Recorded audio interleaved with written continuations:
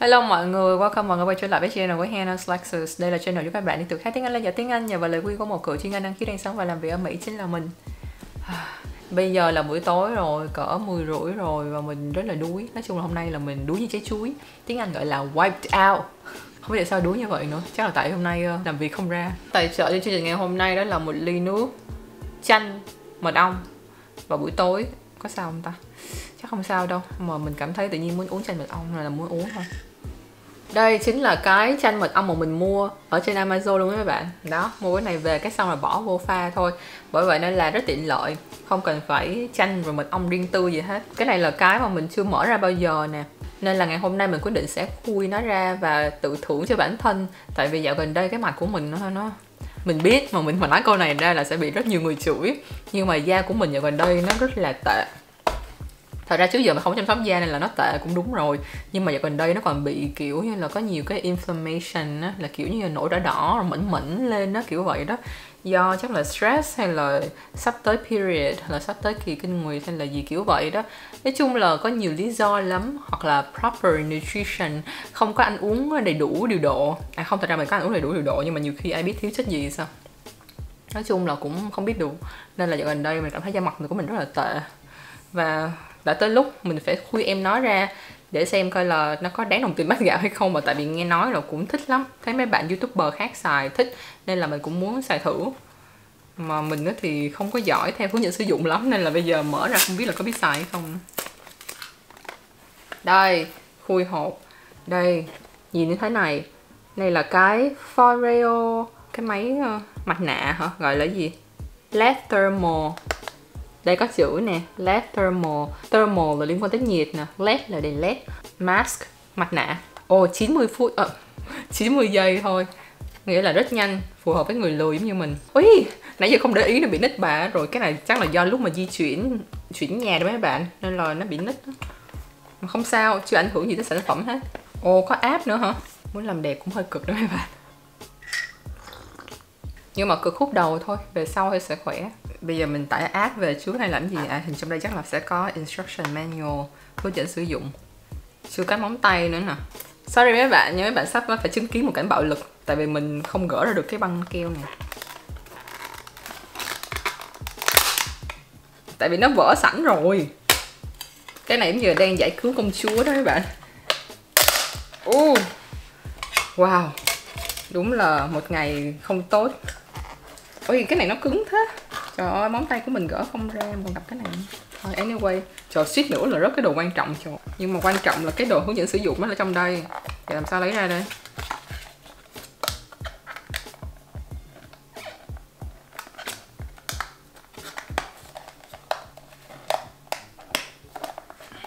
Trong phòng không có nổi cái kéo là sao? Để cho phải khổ sở như vậy. Oh được rồi phải mà retreat sớm đầu hàng sớm thì đâu cần phải bị bể hộp À bữa rồi các bạn nào nói mình là thuộc nhóm ghét bếp á Chính xác, mình rất là thích ghét bếp luôn Lên đó ngồi đọc cười hả hả hả nhưng mà con điên Ui, nhiều thứ quá vậy Cái này là cái gì nhỉ? Uh, à, to be honest, I'm not so sure Đây là cái cát Rồi cái này là cái gói Mặt nạ đúng không?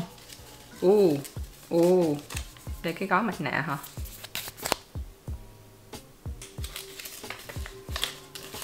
Xem coi. Đầu tiên là phải tải app cái xong rồi tra code vào. Xong rồi sau đó bỏ cái mặt nạ lên trên nóc cái này. Cái này, đây, lên cái cái chiều mà nó có cái ờ, cái lỗ hổng như thế này.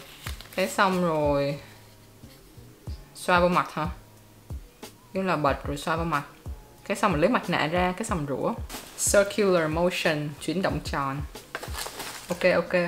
Đầu tiên hãy đi kiếm cái app UFO A few moments later.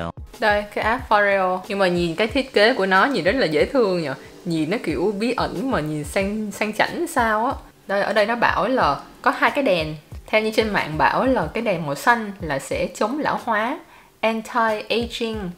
Cái này nghe đâu cả gần 7 triệu á. Nói chung là đồ mắc nên là hopefully là nó sẽ tốt nhưng mà thật ra mình có xài cái sản phẩm máy rửa mặt của Foreo rồi, nên là mình cảm thấy rất là thích. Bởi vậy nên là mình nghĩ là mình cũng sẽ thích cái máy này.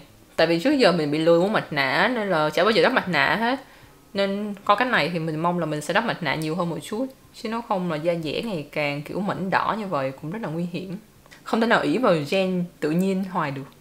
Sau khi mà đã sign in vô, thì sẽ có mấy cái sản phẩm thì chọn cái này, phải mở bluetooth lên. Xong rồi phải ấn vào cái này hả? Uh, sáng đèn lên nè. Ô oh, nhận nhau rồi. Nhận ra nhau rồi mấy bạn. Register device. Xong. Ok bây giờ nó chuyển qua màn hình này. Bây giờ nó chuyển qua đây bây giờ bấm star. Ủa khoan. Star. Tại sao phải star? Trời ơi. Cái này chắc là mình stress hơn chứ không thể nào mà. Ồ không không phải là stress hơn tại vì không biết không biết làm lần đầu tiên nên là hơi bị bỡ ngỡ một chút vì nó đang chớp chớp nè. Bây giờ phải mở cái Fario Call It A Night, là cái mặt nạ ban đêm vào. Mấy bạn ơi, ai mà làm beauty blogger mà nhìn mình chắc tức chết. Đây, một cái gói Call It A Night như thế này. Có nghĩa là coi như là một đêm. Kết thúc một đêm. Gồm có dưỡng chất của nhân sâm và olive oil là dầu ô liu. Hướng dẫn sử dụng là bỏ cái này vào lên máy. Cái sau đó nhấn nút on glide across face, có nghĩa là lướt nó qua. Đây, bây giờ làm sao để mà khớp cái này, xếp hình cái này vào cái chỗ này? Mình nó là rất dở xếp hình, nên là, ôi, chịch bà nó rồi, thấy không? Xếp hình cũng không khớp nữa. Thôi kệ đi. Press and hold the power button for 5 seconds. Đây, nó hiện cái màn hình như thế này. Cái xong bây giờ phải bắt đầu start hả? Oh, phải scan cái barcode nữa trời ơi đây scan vô One eternity later. oh, cuối cùng cũng scan xong phải mở flash lên mới thấy activated mask to your device by clipping the attachment ring into place with the 40 logo facing up. ok Take a few slow, deep breaths Oh my and allow God. yourself to relax as this warming facial massage melts away any stress while oh. deeply nourishing your skin. Ui, mà nó Đúng là làm trò hề cho thiên hạ coi mà Oh I know, I know As you drift into a state of total relaxation, red LED lights. Mất bà một cái mask. Ngu bà cố luôn. Thử lại nhá. Quên không có cái gì để mà kẹp tóc lên rồi. Tại có bao giờ làm cái này đâu Nên là đâu có băng đô hay gì đâu. Ok rồi đầu tiên. Lấy cái này ra. Cái xong rồi. À, Đây Phải mở cái vòng lên. Cái xong rồi sau đó mới xếp hình vào. Xong rồi sau đó mới gắn cái này vào. Cái chữ lơ- nó face up. Đó gắn vào. Đây Nó mới secure được. Chứ nó không thì làm sao mà nó giữ cái miếng nhớt nhợt này được đúng không? Ngu thế là ngu luôn. Cảm giác này nó không chặt lắm mà thôi kệ đi. Ờ. Lại đắp. Đúng là có cảm giác này nó ấm hơn thật. Ê, phải xem người ta sờ đi đâu chứ nhở ơi mình sờ hơi bị nhanh nhở Revitalize làm cho khỏe lại, sống lại, trẻ lại. Ôi cầu cho mấy cái inflammation, mấy cái red spots, mấy cái chỗ đỏ đỏ nó sẽ bớt đi. Blood circulation, lưu thông máu. Đấy. Vừa có thể luyện nghe, học từ vựng luôn. Cho bạn nào cần học, mình thì biết rồi. Ôi lâu nhờ, 90 giây mà lâu thế Đúng rồi, mình còn lười hơn cả 90 giây nữa You're coming to the end of your treatment. Ờ, ok, Take good a few more seconds to relax and enjoy. Trời, đúng là mình quá xoắn để mà relax luôn Thôi, mình có làm sai thì mấy bạn bỏ qua cho mình nhé Mấy bạn hãy tự mua về để tự thử nghiệm đi Chứ mình thấy mình ờ, không được làm hình mẫu tốt, không có làm role model cho mấy bạn được Your smart mask treatment is now complete. If you'd like, you can repeat the treatment. Ok Giờ mình sẽ đi rửa cái này. Hmm, Rồi sẽ quay lại. Rửa xong rồi mới biết là nó cũng có cái đèn màu đỏ nè. Đó Cái đèn màu đỏ này mới là cái anti-aging hồi nãy nói tới nè. Thôi lần sau mình sẽ tiến bộ hơn. Mà lần đầu tiên như vậy là ok rồi. Nói chung là Mong là da của mình sẽ đỡ hơn. À và ngoài ra mình còn muốn làm một trò hề nữa mấy bạn. Ngày hôm nay là ngày làm trò hề cho mấy bạn coi mà. Cái trò hề thứ hai mà mình sắp biểu diễn cho ngày hôm nay đó chính là mình sẽ biến cái này thành cái túi hoặc là cái áo khoác. Tại vì nó có hai chức năng nó là mỗi cái túi hoặc là cái áo khoác. Và cái này là món quà mà bên Change bên tổ chức non-profit. Mà hôm bữa có chạy một cái campaign về no plastic á, là không xài nhựa đó. Đã mời mình dịch ngựa bài MV đó No Thanks. Và đây là món quà mà bên đó đã gửi tặng. Công dịch của mình mà thật ra là lúc mà mình nhìn cái này xong mà mình cũng không biết là nó làm thế nào, tại vì mình rất là kém cỏi mấy cái vụ mà khéo tay hay làm này lắm. Nên bây giờ mình sẽ mở video clip ra để mình xem coi là châu bùi đã mặc nó thế nào. Đây. No thanks. Khả năng lớn là mình sẽ mang nó thành cái giỏ đi chợ của mình để cho đỡ phải xài mấy cái túi ni lông.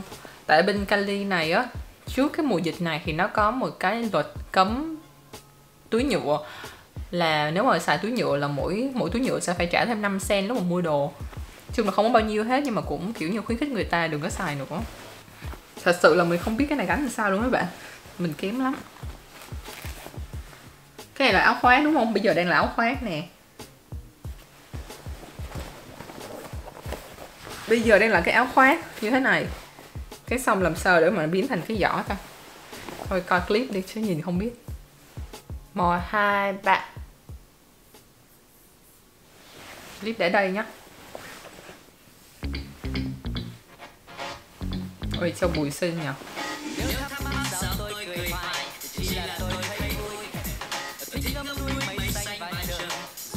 Xinh nhỉ? Xem bao lâu cũng thấy xinh. Ok. Cái này ra ngoài, cái này là mặt ngoài, ok.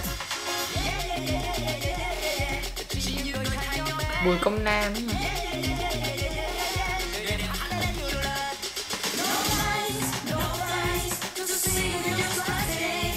sao châu bùi mặc cái áo này xinh thế nhờ. Mà mình mặc vô sẽ giống như là một cái ốp cái này làm sao không sao?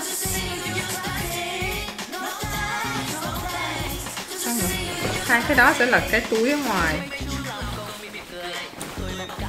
Đây cái này là cái túi ngoài.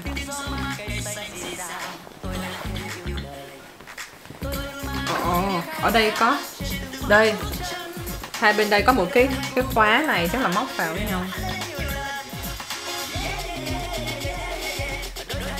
Ôi nhiều người nổi tiếng mà mình không biết tên. Có người đăng xin là biết nè. Timmy. Ôi, vẫn chưa biết nói là sao cái này hả?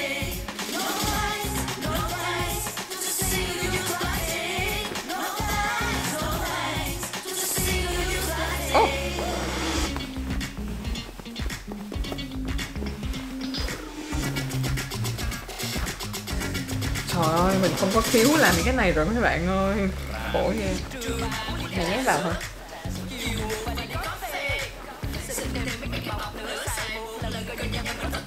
Cô Nancy xin cũng xinh mà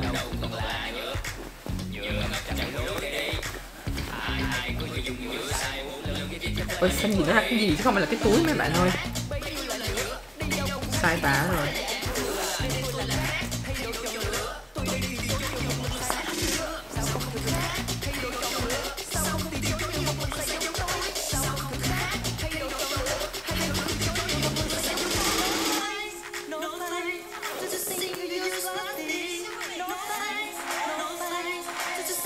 Cái khúc cuối này là khúc dễ thương nhất nè. Mọi người cùng nhảy.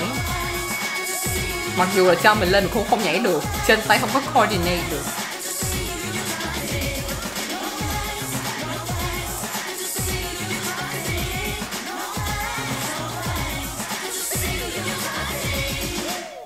Trang hí.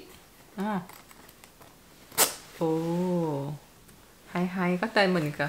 English subtitles coi hết cái clip rồi mà vẫn không biết bỏ cái này vô. Không sao mấy bạn mình hơi bị chậm nhưng mà từ từ cũng sẽ tới nơi. Nhưng mà có tới trong hôm nay được hay không thì mình không biết. Ú uh, được một bên rồi nè. Còn bên đây nhét nhét cái này vào cái vạt áo là phải nhét vào cái xong rồi gỡ cái nút này ra. Cái xong rồi kéo khóa lại. Zip up. Cái zipper đâu vậy trời. À cái này là cái zip. Đó, kéo khóa lại. Xong, thành cái túi rồi. Đây, đó. Cái túi, no thanks. Bự thế nhờ, đúng là đủ đồ, bỏ đủ đồ đi chợ. Xong rồi gắn cái này vào nữa. Gắn sẵn luôn, để mà cuối tuần này đi chợ luôn. Mình sẽ ghi vào quay một cái túi thế này vừa túi và áo khoác này của No Thanks. Cho một bạn viewer của mình trên YouTube. Và câu hỏi bí mật của lần này đó chính là trong video clip No Thanks này thì bạn ấn tượng nhất với hành động bảo vệ môi trường của người nổi tiếng nào? Vậy nhé ráng lên. Đây xong. Ôi mặc dù là hơi lâu nhưng mà cũng xong rồi. Đây xong rồi mình sẽ đi ờ, mua đồ ăn như thế này. Chung là rất là ok. À, thật ra là hôm nay á mình có định kể chuyện cho mọi người nghe câu chuyện đêm khuya nhưng có điều không biết là có đủ thời gian hay không để thử coi. Ok, ngày hôm nay thì mình sẽ kể cho mọi người nghe một câu chuyện nhé. Là câu chuyện mà hồi tuần vừa rồi mình đã binge watch Có nghĩa là mình đã xem hết một lèo hai season, hai mùa của phim Kingdom. Là phim mà tiếng Việt gọi là Vương Triều Sát Sống của Hàn Quốc đó mấy bạn Ở trên Netflix.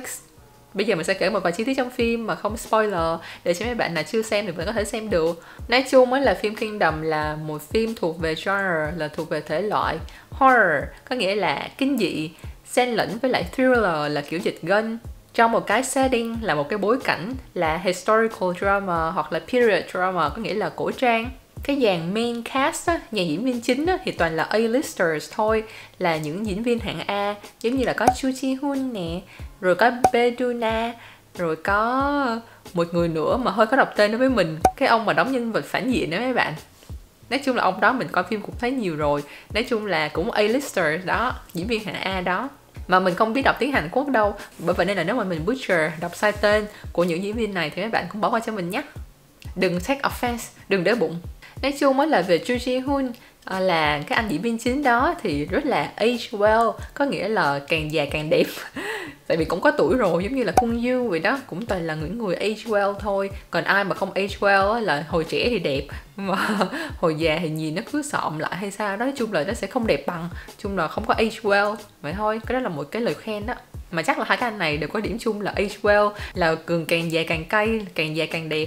Bởi vậy nên là hai anh đều đóng phim zombie đóng phim sát sống đóng protagonist hay là leading actor hay là main actor còn nói về Betuna thì không có một cái sắc đẹp mà gọi là bewitching, kiểu như là hút hồn hay là say đắm lòng người. Nhưng có điều nhìn rất là easy on the eye, có nghĩa là dễ nhìn. Như vậy thì nó hợp lý hơn. Tại vì phim này cần phải chạy trốn sát sống mà lấy thời gian đâu mà làm đẹp được, đúng không? Kể cái vẻ bề ngoài lúc nào cũng rất là disheveled, là kiểu nhếch nhác. Rồi quần áo thì grubby, nghĩa là nhem nhút dơ bẩn tại vì đâu có thời gian wash up đâu đâu có thời gian tắm rửa đâu. Chứ đừng nói chi là clam up, nghĩa là đừng nói chi là lên đồ. Phim Kingdom này thì đúng là rất là gory, là kiểu máu me. Và nhiều cảnh thì cũng rất là disturbing, hay là gross, có nghĩa là gớm nhưng mà ngoài cái yếu tố kiểu supernatural là kiểu siêu nhiên, mấy con zombie á, thì phim cũng rất hay ở chỗ là nó lồng ghép những cái yếu tố kiểu political là chính trị nè. Rồi lâu lâu thì còn có những cái comic relief, có nghĩa là những cái yếu tố gây cười để mà làm cho phim nó bớt căng thẳng. Mình thấy rất là hay. Chu Chi Hun đóng vai thái tử Y Chang thì rất là gutsy, có nghĩa là có gan, chứ không phải là chỉ đẹp trai không. Không phải là vì cứu mình mà đi abandon, có nghĩa là đi bỏ mặt bỏ rơi những người peasant, là những người dân đen. Và cái việc đó thì được portray là phát họa rõ nhất trong một cái cảnh caravan, là một cái cảnh mà đoàn người ngựa đó đang chạy trốn khỏi cái đoàn zombie đang rượt theo.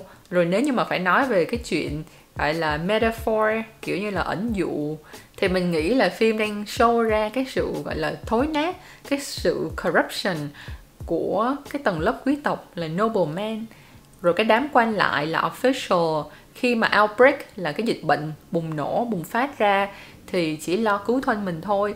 Lo flee đi, có nghĩa là chạy trốn đi, chứ không có ráng contain, là kìm hãm, kiềm chế cái dịch bệnh. Và còn người dân, những người peasant đó, là những người dân đen đó thì rất là thống khổ. Tại vì cái class division là bị phân biệt giai cấp như vậy nói chung là mình thấy cũng có rất là nhiều tầng nghĩa và là một phim khá là đáng coi. Có thể là nếu mà ngồi coi không thì hơi tốn thời gian tại vì phim nó cũng không có nhiều tình tiết đến mức đó. Tại vì rất là nhiều cảnh thì nó chỉ tập trung vào chuyện là zombie sát sống nó đang đuổi bắt và nó ghê rợn cỡ nào thôi. Nhưng mà nói chung nếu mà ngồi ăn cơm coi giống như mình mình ăn cơm coi vẫn được. Bạn nào mà bụng khỏe thì vẫn ngồi ăn cơm coi được thì cũng khá là ok. Vậy thôi còn nếu mà bạn nào có Netflix mà, mà cứ ngồi nằm ở trên couch trên ghế đó thì Netflix nó sẽ tự động tua qua tập mới cho mấy bạn coi luôn. Nói chung là rất nó muốn giữ người ta càng lâu càng tốt. Gọi là retention user retention hay là viewer retention là tỷ lệ giữ người xem. À, và anyway sau khi mà một buổi tối đắp mặt nạ rồi làm trò mèo với lại cái túi này xong rồi kể chuyện ma cho mấy bạn nghe. À không chuyện zombie với chuyện ma mình cảm thấy là mình nên đi ngủ, tại mình bắt đầu nói nhảm rồi. Nhưng mà mong là mấy bạn coi clip này xong đừng bỏ mình, tại mình biết là trong clip này mình rất nhảm. Nói chung là cuộc đời thì ai cũng có lúc, thì cái lúc này là cái lúc hơi bị ờ, rock bottom. Tụt dốc, xuống dốc, xuống đáy, xuống vực thẳm về tâm trạng của mình. Bởi vậy nên là đi ngủ là tốt nhất vậy nhé thank you, mấy bạn đã xem. Bye.